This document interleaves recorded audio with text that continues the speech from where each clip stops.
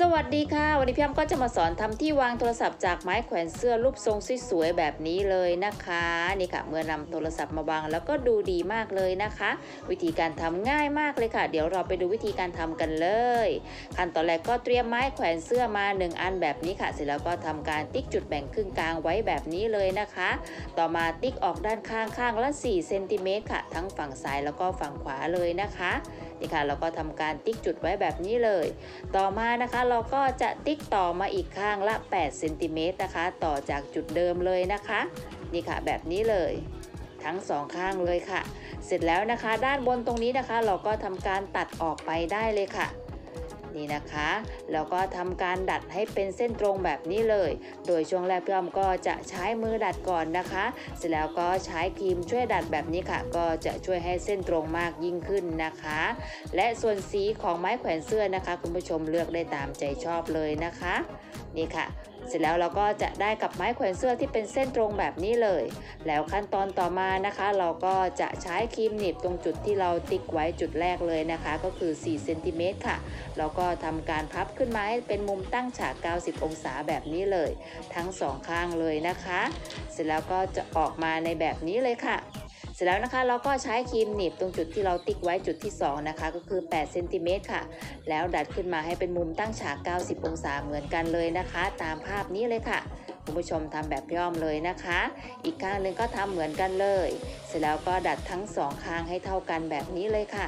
นี่นะคะ เสร็จแล้วค่ะ ต่อมาค่ะ เราก็วัดออกจากส่วนมุมตรงนี้ออกมาอีก 10เซนติเมตรนะคะ ทำเหมือนกันสองข้างเลยค่ะ แล้วก็ทำการติ๊กไว้แบบนี้เลย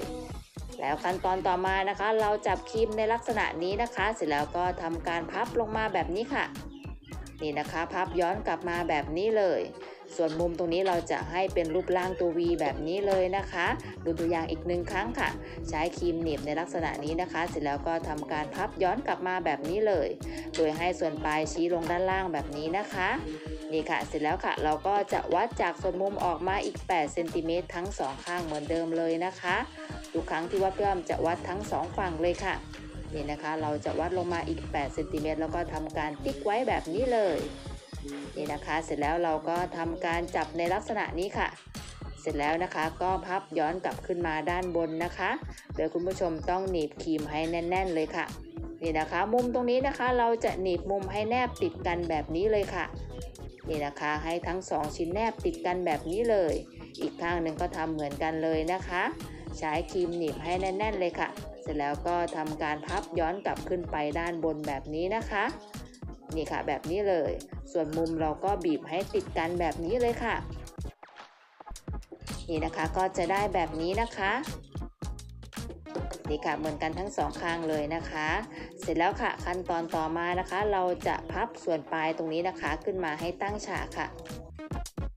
นี่นะคะ โดยเราจะหนีบทั้งสองชิ้นพร้อมกันเลยนะคะ พับขึ้นมาให้ตั้งฉากแบบนี้เลย ให้ได้แบบนี้เลยนะคะ ส่วนปลายตรงนี้นะคะ เราจะพับออกมาด้านข้างค่ะ ให้เป็นมุมตั้งฉากนะคะนี่ค่ะ อีกข้างหนึ่งก็ทำเหมือนกันเลย พับขึ้นมาแบบนี้นะคะ นี่ค่ะ ให้ได้แบบนี้เลย ส่วนปลายตรงนี้เราก็ดัดออกด้านข้างไปก่อนนะคะ แบบนี้เลย ให้กลางออกแบบนี้ค่ะ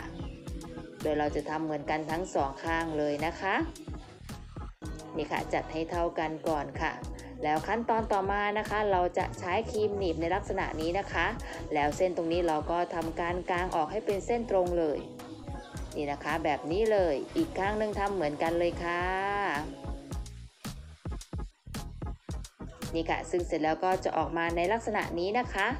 นี่ค่ะ ส่วนมุมตรงนี้นะคะ เราก็จะทำการพับเข้ามาด้านในค่ะ นี่นะคะ โดยให้มุมตั้งฉาก 90 องศาเหมือนเดิมเลยนะคะ ก็จะออกมาในลักษณะนี้เลย อีกข้างหนึ่งทำเหมือนกันเลยค่ะ นี่นะคะแบบนี้เลย โดยความกว้างช่วงนี้นะคะ เราก็จะกะระยะให้มีความกว้างอยู่ที่ 8 เซนติเมตรนะคะ นี่ค่ะตรงนี้ค่ะ ดังนั้นนะคะเราก็จะวัดจากส่วนโค้งเข้ามาข้างละ 4 เซนติเมตรนะคะแล้วก็ทำการติ๊กไว้เลย ส่วนที่เกินเราก็ทำการตัดออกได้เลยค่ะ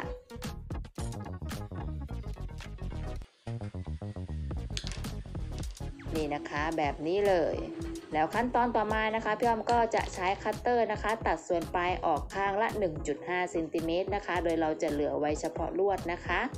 นี่ค่ะพี่อ้อมจะตัดออกข้างละ 1.5เซนติเมตรนะคะ แบบนี้เลย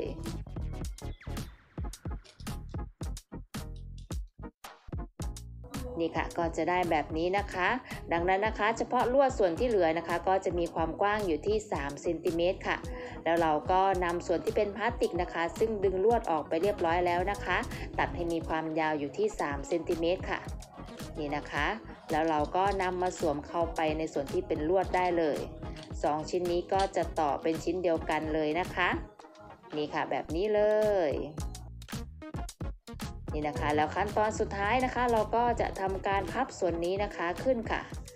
นี่นะคะพับให้เป็นมุมขึ้นมาแบบนี้เลย ตัวนี้ก็จะช่วยป้องกันไม่ให้โทรศัพท์ลื่นไหลออกนะคะ อีกข้างหนึ่งทำเหมือนกันเลยค่ะเราก็ทำการพับขึ้นมาอีกนะคะ เพื่อป้องกันไม่ให้โทรศัพท์ของเราหล่นหรือว่าล่วงนะคะ นี่ค่ะ พับให้ได้มุมประมาณนี้เลยนะคะ นี่ค่ะแบบนี้เลย เสร็จแล้วนะคะเราก็ทำการจัดทั้งสองข้างแล้วก็สองฝั่งให้เท่ากันนะคะนี่ค่ะแบบนี้เลย แค่นี้นะคะเราก็จะได้กับที่วางโทรศัพท์จากไม้แขวนเสื้อรูปทรงสวยๆแบบนี้แล้วนะคะ วิธีการทำไม่ยากเลยค่ะ คุณผู้ชมก็ลองนำไปทำดูนะคะ